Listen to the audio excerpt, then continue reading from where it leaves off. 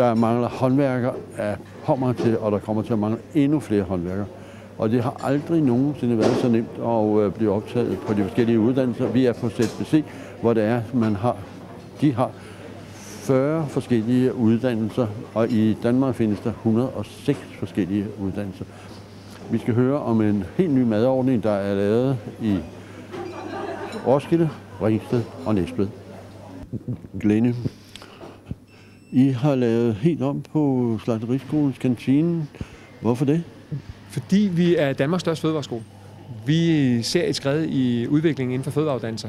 Vi ser et skridt i udviklingen inden for fødevare i det hele taget. Forbrugerne efterspørger fødevare på en anden måde. Der er en masse trends ude i markedet. Blandt andet øh, food halls, food markets, food courts. Kært barn har mange navne. Men fødevaremarkeder kommer frem rigtig mange steder. Eksperter mener, der kan være plads til 50 af dem i Danmark. Øh, når vi så kiggede ind udefra og så på det som en stor fødevareskole, så øh, kunne vi se, at vi havde kantiner, og kantiner øh, på den gammeldags måde. Det vil sige øh, både afviklingen af, af, af køer, både oplevelsen for vores øh, gæster i kantinen, øh, og nogle steder også den mad, vi lavede, øh, ikke nødvendigvis lige, øh, lige her, men, men gjorde faktisk, at vi ikke levede op til det, vi stod og underviste eleverne i ude i lokalerne. Så øh, kiggede vi på konceptet og sagde, lad os, øh, lad os lave noget, der er tidsvarende. Lad os øh, ændre det. Og så øh, har vi i stedet for lavet nogle food halls. I har haft noget åbningsceremoni øh, i øh, Roskilde, Ringsted og Næstved, hvor der er borgmestrene i de tre byer, der har klippet snoren over. Øh, og så har I serveret noget rigtig, rigtig lækker mad. Men det er jo ikke det, de serverer i dag. Øh, når vi holder receptioner, så, øh, så serverer vi mad, der er regnet til receptioner. Når vi øh, har almindelig mad, så serverer vi god, lækker, øh, sund og nærende mad. Og, øh, og maden har fået et, et kvalitetsløft. Vi har både sat flere penge af til det, men vi har også lavet et andet koncept. Vi vil hellere have lidt, men godt. Øh, det er ikke fanatisk sundt på den måde. Vi er også Danmarks største bagerskole, og vi er den eneste konditorskole i Danmark, så selvfølgelig kan man også få kager og sådan ting. Men på den anden side, så har vi også sagt, at maden skal være god og sund. Så, så maden er altså blevet markant bedre, og vi får meget god øh, feedback både fra vores øh, elever, andre brugere af huset og vores ansatte på, at den mad, vi, vi laver, faktisk er rigtig god. Og øh, I laver mad til øh, eleverne selvfølgelig, I laver mad til lærerne selvfølgelig, men så laver jeg også til gæsterne, og det er fordi, der er rigtig mange gæster, der kommer og øh, holder møder og arrangementer her på øh, skolerne. Ja, det er der. Øh, vi er jo øh, nogle store huse, og der er rigtig mange øh, gæster. Det er både kursister og samarbejdspartnere og, og folk, der i princippet leger sig ind og holder konferencer hos os. Her i Roskilde har vi Skærhallernes konferencecenter, som vi driver som et regulært konferencecenter. Så der kan man også lege sig ind og holde sin konference, og så får man også mad produceret af vores food hall god hjemmelavet mad med råvarer fra vores eget slagteri for eksempel. Øh, kødet vi bruger her er slagtet over i vores slagteri, øh, hvor eleverne er med til at slagte grise og, øh, og bruge det i deres videre arbejde, når de uddanner sig, om man skal være gourmetslagt eller man skal være kok, så arbejder man med vores eget kød. Og kød bliver så også brugt herovre. Så man spiser egentlig kød slagtet lokalt her hos os, hvilket også er med til at gøre, at det er en god kvalitet, vi får. Lærerne her på stedet, de underviser eleverne, og så siger de, der mangler lige det, der mangler lige det. De er sådan meget, de er vant til at være meget, meget kritiske. Øh, de har spurgt, om de måtte øh, få en madordning. Ja, et af succeskriterierne, det var, øh, da vi lavede det her, jeg sagde til, til de folk, vi har, der arbejder med det, at maden skal være så god, så vores medarbejdere ønsker at spise det. Hvis ikke medarbejderne vil spise det, så skal vi heller ikke servere det til eleverne. Øhm, så øhm, jeg har luret lidt på, om, medarbejderne havde lyst til at, at spise den mad, og jeg har, tror jeg, omkring 50 henvendelser fra ansatte, som har spurgt efter frokostordninger, siden vi startede det her op. Og vi får rigtig god feedback på, øh, på maden, så det er vi selvfølgelig glade for, og det øh, vil vi smide på og arbejde videre med. Så. Og ideen er jo at uddanne folk til branchen, og branchen, brancherne mangler håndværkere i den grad.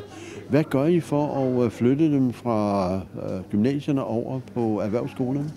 Jamen, øh, det er klart, at, at vi mangler elever på erhvervsuddannelserne. Øh, vi, altså, sådan helt generelt set, der kommer til at mange faglærte. Jeg kan se på, øh, på de her lidt over 40 uddannelser, vi har øh, inden for erhvervsuddannelsesområdet, der over halvdelen af dem, der mangler jeg simpelthen elever. Jeg kan skaffe alle de praktikpladser, alle de virksomheder, der skal til, så jeg mangler eleverne, jeg skal have ind på dem. Og fødevareuddannelserne er nogle af dem, der også er hårdt ramt. Vi gør rigtig mange ting for at prøve at tiltrække eleverne. Og først og fremmest gør vi jo netop sådan noget som det her, at lave et, et rigtig lækkert miljø, øh, hvor man kan, kan rette ryggen og være fagligt stolt. Øh, men så skal vi også have fortalt de unge mennesker, der skal vælge, at, at når man har valgt en erhvervsuddannelse, så har man alle muligheder. Man kan læse videre bagefter, øh, og, øh, og man er ikke nødvendigvis fanget i det erhverv, eller det håndværk, eller det fødevarehåndværk, man har valgt resten af sit liv. Man har faktisk rigtig mange muligheder, og det er et godt sted at starte. De folk, der starter for eksempel som gourmetslagter hos os, ender faktisk rigtig tit i nogle, i nogle rigtig spændende og gode stillinger. Hvis man kigger i, øh, i danske butikker, så, øh, så er slagtere nogle af dem, der fylder, rigtig me, øh, fylder mest som varehuschefer og butikschefer, fordi de øh, har en rigtig god øh, forståelse for købmandskabet, og, og en slagter er vant til at tjene penge på det kød, han arbejder med, og det kan man godt bruge, når man driver en butik. Så de er faktisk godt repræsenteret øh, rundt omkring i landet. Der er mange muligheder med en erhvervsuddannelse. Vi skal være med til at drive den udvikling, som øh, er ude i brancherne, og, og der er øh, en udvikling mod gode kvalitetsting. Vi har lige lavet en juice-certificering, hvor vi certificerer fagfolk i at lave lækre juicer. Det kunne være af råvarer, som man i øvrigt stod med ude i en butik eller en restaurant, øh, og sagde, hvis ikke vi gør noget ved dem nu, så bliver de fordaget, og så skal vi smide dem ud. Så der er også et madspilsperspektiv i det. Men tænk, at man kunne tage det og omdanne til nogle lækre, friskpressede juicer øh, og sælge det. Det er noget af det, vi blandt andet ved at indføre i vores øh, food halls, for vores egen folk skal selvfølgelig også certificeres i at arbejde med de ting, vi øh, laver. Så det vil sige, at når de kommer ud øh, og får job et eller andet sted, så skal de tænke anderledes og så sige, det skal ikke smide ud, det skal sælges som juice. Vi kommer lige noget salt og peber i, så smager det ligesom af olivenolie. Ja, eller hvad de nu har lært at putte i, ja, præcis. Og det er simpelthen en tanke om, at, og det er bare en af de certificeringer, vi arbejder med, men det er simpelthen et spørgsmål om at sige, kan vi, kan vi lave noget lækkert? Kan vi, øh, kan vi se en forretningspotentiale i det? Kan vi bruge det til noget, der i øvrigt er, er meget trendy i øjeblikket, smoothies og juice og sådan noget. Så, øh, så ja, derfor har vi lavet sådan en uddannelse. Hvis jeg havde børn, jeg skulle anbefale, så ville jeg anbefale dem at gå ind på universiteterne, fordi samfundet er sindssygt kompliceret i dag. Det vil sige, man kræver rigtig meget, at de unge mennesker skal kunne det ene og det andet og det tredje, og ikke bare slå søm i øh, et bræt. Ja, man siger, man, man siger sådan generelt, at et ung menneske, der starter i dag, de kommer, halvdelen af dem kommer til at arbejde i jobs, der slet ikke findes i dag. Det går så stærkt med udviklingen. Øh, så så de, man siger også, at de kommer til at skifte karriere, øh, måske op til tre gange i deres arbejdsliv hvor i dag er det helt nede på omkring en gang. Så, så det, det er et arbejdsliv i forandring. Men det vi kan se, det er, at, at dem, øh, dem, der måske først har lært at slå et søm i, som du siger, øh, er faktisk rigtig efterspurgt i arbejdsmarkedet. Og de kan godt læse videre bagefter, hvis det er det, man har lyst til. Så jeg vil sige, at grundlæggende set er der måske øh, tre valg, man skal træffe, når man skal vælge uddannelse. For hvis man ved, man vil læse videre, hvis man ved, man vil på universitetet eller noget andet, jamen så er der ingen tvivl om, at så skal du vælge en af de gymnasieretninger, der er. Øh, for gymnasieretninger, uanset om det er det almindelige gymnasium, det tekniske gymnasium eller det merkantile gymnasium, de er målrettet mod at læse videre. Øh, hvis du... men, men, men det du siger, det er, at hvis der sidder et godt hoved på vedkommende, øh, så skal øh, drengen, pigen, læse videre øh, på gymnasiet. Nej, det er ikke det, jeg siger. Nå. Øh, nej, det jeg siger, det er, at hvis du ved, at det er det, du har lyst til, så skal du gøre det. Og hvis du selvfølgelig også har kompetencerne. Men der kan sagtens sidde et godt hoved på, på en, der skal arbejde i erhvervsuddannelserne. Der er faktisk rigtig mange erhvervsuddannelser, som stiller høje krav, og også stiller krav om gymnasieniveauer på det, du laver. Så, så det har ikke så meget med det at gøre. Vi har også brug for de dygtige og de kloge på erhvervsuddannelserne. Øh, nej, hvis man, er, hvis man ved, man vil læse videre. Hvis nu man er dygtig og samtidig lidt i tvivl, om man har lyst til at læse videre. Vil man gå på universitetet i, i fem år, eller på et erhvervsakademi i, i to, tre eller fire år, øh, jamen øh, så er det fint. Men ved man ikke, om man vil det, så skal man måske vælge noget andet der er en anden ende, der er nogen, der siger, jeg ved, jeg vil arbejde med mine hænder, jeg ved, jeg vil, jeg vil ikke sidde på skolebænken, jeg vil gerne arbejde med noget praktisk, og være med til at skabe en forskel i vores samfund, jamen så er erhvervsuddannelserne et rigtig godt valg. Hvis du ligger midt imellem de to og er i tvivl, så har øh, der kommet en ny uddannelse for et par år siden, der hedder en EUX, som giver dig det bedste for begge verdener. Du får lige adgang til at læse videre på niveau med en HF-uddannelse, og du får en erhvervsuddannelse samtidig med. Så du kan faktisk øh, skubbe dit valg, hvis man vil det, øh, og sige, nu tager jeg min erhvervsuddannelse, så kan jeg vælge bagefter at gå ud og arbejde med det, læse videre bagefter øh, på et senere tidspunkt, eller jeg kan faktisk også vælge at gå videre og læse øh, på den videregående uddannelse, jeg har lyst til. Men sker der ikke det, at øh, når man sådan er på vej ud af skolen, altså, hvad skal du? Jamen, jeg er på gymnasiet. Så siger de andre kammerater, jamen, det vil jeg egentlig også godt. Så det er kammeraterne, der trækker mere end uddannelsen? Jo, det er også den fornemmelse, vi har. Øh, kammeraterne øh, og mor til en vis grad også. Øh, jeg tror, hvis du spørger de unge mennesker, vil de sige, det vælger de selv. Men, øh, men der er i hvert fald masser af undersøgelser, der peger på, at, at det betyder meget, hvor deres øh, kammerater går hen. Det må jeg ikke for min mor. Nej, jeg tror mere, at, at, at, at der er, der er, øh, mor har en stor indflydelse, når, når man skal udfordre sit valg og, og tænke. Vi, vi har eksempler på nogen, der har, har ønsket erhvervsuddannelserne, hvor, hvor man er kommet hjem og er blevet udfordret på, om ikke man var dygtig nok til at gå på gymnasiet i stedet for. Fordi der var sådan en oplevelse af, at gymnasiet var, var et sikkert valg. Øhm, og det er det også, hvis man vil læse videre. Men hvis man er i tvivl, så er UX faktisk et mere sikkert valg, fordi du så har begge muligheder.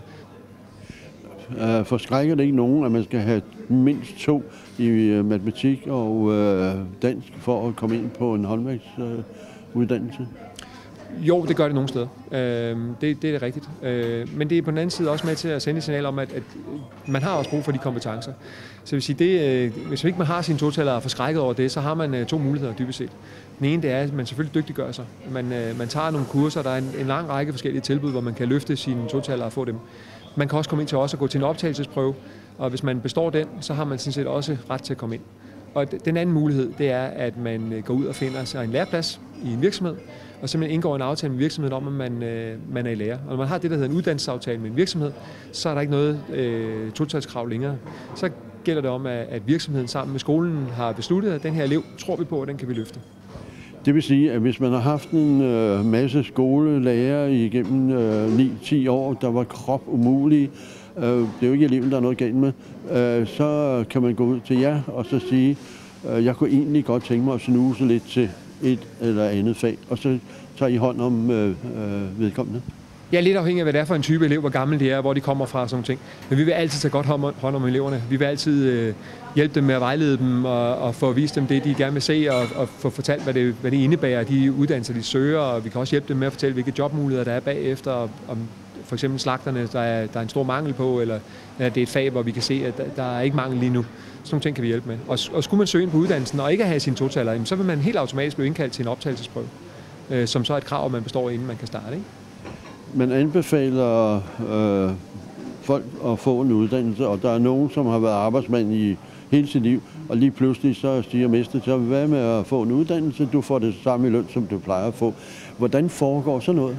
Jamen det foregår sådan, at når man bliver over 25, så kan man faktisk ikke længere tage en traditionel erhvervsuddannelse. Så kan man i stedet for at tage det, der i dag hedder en erhvervsuddannelse for voksne. Og en, en erhvervsuddannelse for voksne, den kigger på dine reelle kompetencer. Så den siger, hvad kan jeg egentlig i forvejen? Og så er det lidt forskelligt fra uddannelse til uddannelse, hvordan det bliver udmyndtet. Men hvis man for eksempel har to års relevant erhvervserfaring inden for et fag, så vil man få godt skrevet en hel del af, af det, man ellers skulle igennem. Og så vil man faktisk kunne tage sin uddannelse meget, på meget kortere tid. Men der, der er så mange regler i det, så det er meget individuelt. Og igen, der skal man kontakte sin, øh, sin skole. Man kommer ned hos os på ZBC, og så har vi nogle folk, der er rigtig dygtige til at sætte sig ned og kigge på det, man kan, og finde ud af, hvad er det for en uddannelsesplan, man skal have, når man er over 25. Men kan det ikke være lige meget, om man får en uddannelse, hvis man har været arbejdsmand i 20-30 år og er tilfreds med at være der, arbejdsgiveren tilfreds, hvorfor så begynde at gå på skole? Jamen, på den helt korte bane har du helt ret. Altså, det, det ændrer jo ikke noget i morgen. Tværtimod, så skal man måske lægge en ekstra indsats. Men det vi jo så bare ser, det er, at der sker så mange udviklinger i, øh, i både fag og erhverv og brancher, som jeg sagde før. Øh, halvdelen af alle de erhverv, vi kender i dag, de vil være væk om 20 år. Så det vi, øh, det vi kan se, det er, at mange af de ufaglærte stillinger forsvinder, men der kommer til gengæld faglærte stillinger frem. De virksomheder, der har automatiseret med robotter og sådan ting, der har, øh, har der også været den her snak, mister vi nu arbejdspladser? Øh, og det har faktisk vist sig, at det har man ikke gjort. Men man har konverteret måske nogle ufaglærte arbejdspladser til nogle faglærte. Fordi der skal også være nogen til at styre robotterne, nogen til at programmere dem, nogen til at vedligeholde dem, reparere dem, og, og så videre. Så, øh, så vil sige, der vil altid være øh, et godt incitament til at tage en erhvervsuddannelse, og det vil sikre dig for livet. Undersøgelser viser, at din livstidsindtægt som faglært stiger helt op til en million i forhold til at være ufaglært. Så du, altså, der vil være rigtig mange gode idéer i at tage en erhvervsuddannelse, og når du først har den erhvervsuddannelse, så har du nemmere ved at, at flytte dig rundt i, i arbejdsmarkedet. Der er nogle mennesker, øh, som øh, gerne vil have en uddannelse langt væk hjemmefra. Hvad med dem? Jamen, øh, hvis de vælger en uddannelse langt væk hjemmefra, og det er erhvervsuddannelse, så vil de typisk være berettiget til at bo på et skolehjem. Øh, vi har for eksempel skolehjem både her i Ringsted og i Slagelse, og på de her skolehjem, der bliver man så indkvarteret. Man får et værelse, måske alene eller sammen med, øh, med en, en studiekollega, øh, og der vil der så være arrangerede aktiviteter for en, hvis man har lyst til det. Så når man er fri fra skole, så udover at man måske har nogle lektier eller noget andet, man skal arbejde med, så er der et kammeratligt liv med alle sine, øh, sine venner. Her i huset har vi for eksempel en biograf, vi har træningscenter, vi har øh, forskellige aktiviteter, vi arrangerer for dem og laver dem. Øh, der er gratis mad i vores food hall. Det er en del af, af det, man er berettiget til, når man bor på skolen. Øh, så, så jeg vil sige, der er masser af liv omkring det, og, og, og masser af muligheder for at, at have det godt, øh, også uden for skoletid. Det betyder meget for, at man trives også i sin skole. Og det er jo ret vigtigt at vide, fordi der er uddannelser, hvor der kun findes i Jylland, kun findes i Sjælland. Øh, så derfor er det meget godt at vide. Men, men alt det, det finder man ud af, når det er, man siger, jeg vil være urmær. Ja, Lige præcis. Hvis man siger, at man er urmager, skal ned på ZBC i Ringsted og være urmager, og der har vi jo elever fra hele Danmark, øh, jamen så vil man blive kontaktet af os, og så tager vi øh, den snak om, man skal bo på skolehjemmet, eller man forventer at kunne tage frem og tilbage. Men det er klart, bor man i Jørgen og skal til Ringsted og være urmager, så, øh, så bor de som udgangspunkt på skolehjemmet, de fleste af dem. Og det er man så i øvrigt berettiget til, at man får det gratis. Man får også betalt øh, noget af sin transport frem og tilbage og sådan noget. Det, øh, det ligger implicit i, i, i det system, der er i Danmark. Så er der ingen undskyldning for ikke at læse til urmager? Øh, det skulle kun være, at, øh, at urmager er faktisk en af de brancher, hvor, øh, hvor vi får så mange ansøgere, så vi faktisk ikke kan have plads til alt. Øh, så jeg vil sige, det er, det er et nåløje, man skal igennem for at komme ind på urmagerskolen, og det skulle være den eneste undskyldning for det. Men ellers er der jo nogle af de andre fine øh, mekaniske uddannelser, hvor man også arbejder med de små mekaniske ting, som vi kan tilbyde i stedet for, hvis ikke Urmager, drømmen bliver til en virkelighed. 74 procent unge går fra skolen til gymnasiet, og 18 procent bliver håndværkere, går håndværkervejen. Og det tal vil man meget, meget gerne have ændret, fordi der er ikke arbejde til alle dem, der går på universiteterne, som bliver akademikere og embedsmænd.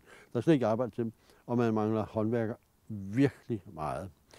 Derfor har vi lavet en programserie, der hedder Fremtidens Guld, og øh, nu skal I møde Tobias. Han er 26 år, har arbejdet.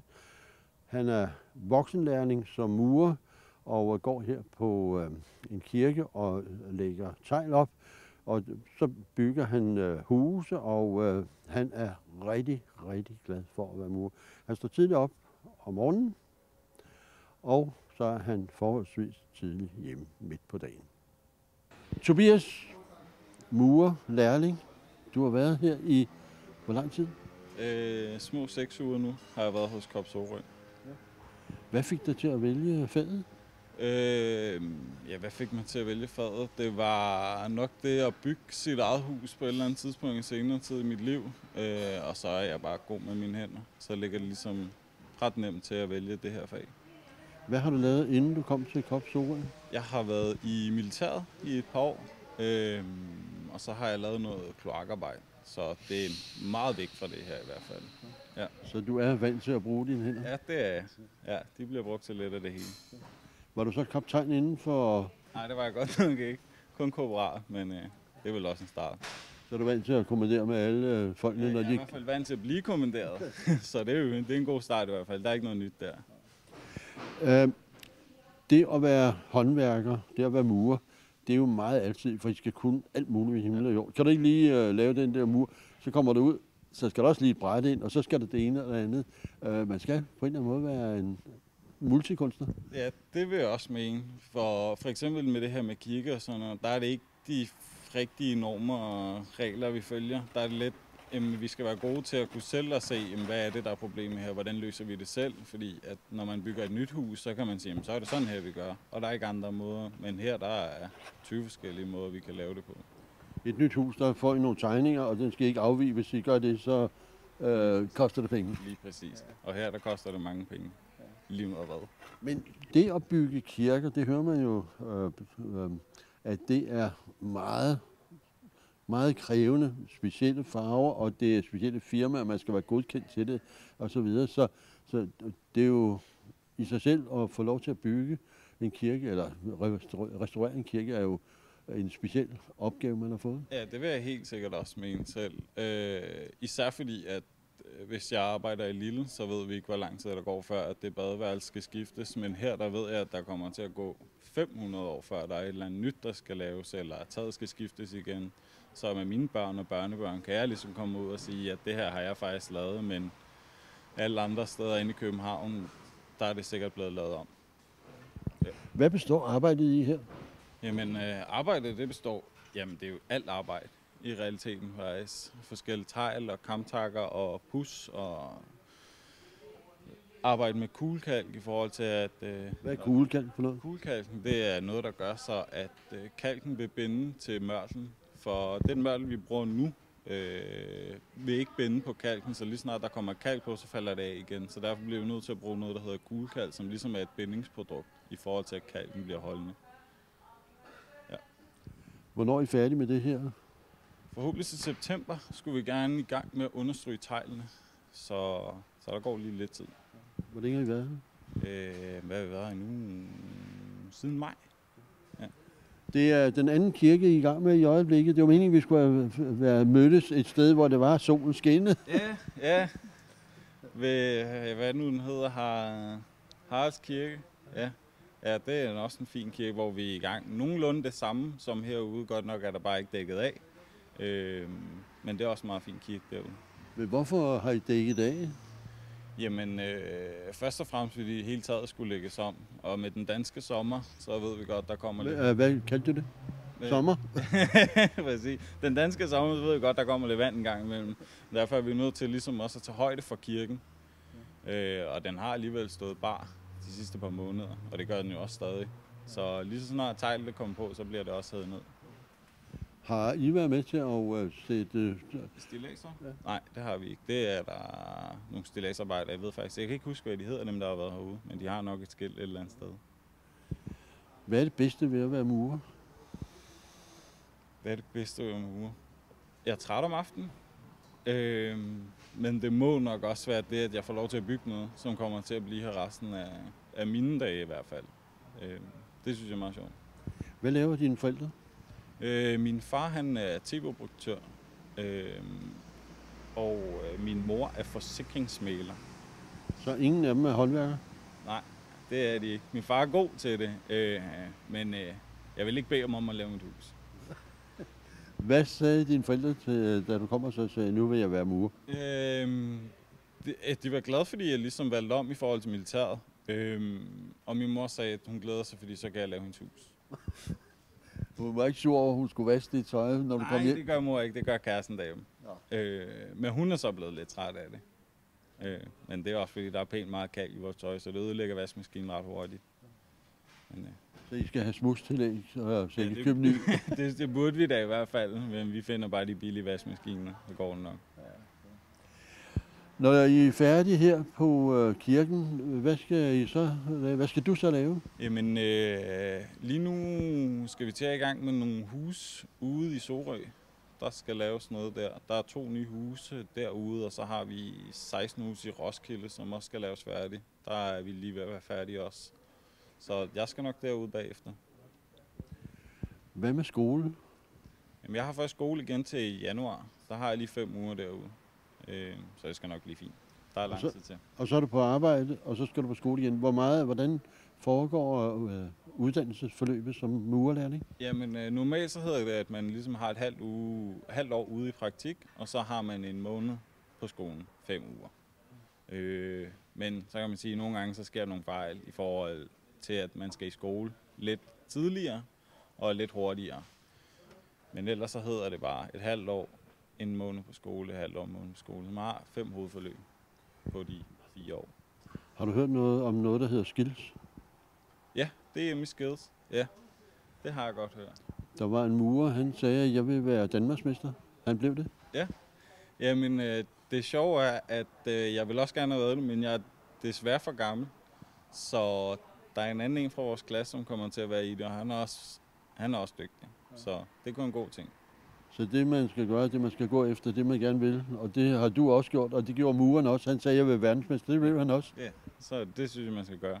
Jeg har i hvert fald været den bedste inden for kirker, så det skal jeg nok også blive på et tidspunkt. Tobias, hvad med løn? Du øh, har kæreste, du har bil. Ja. Øhm, har du også et hus eller en lejlighed? Jeg har lejlighed godt nok, øh, men er i gang med at købe hus.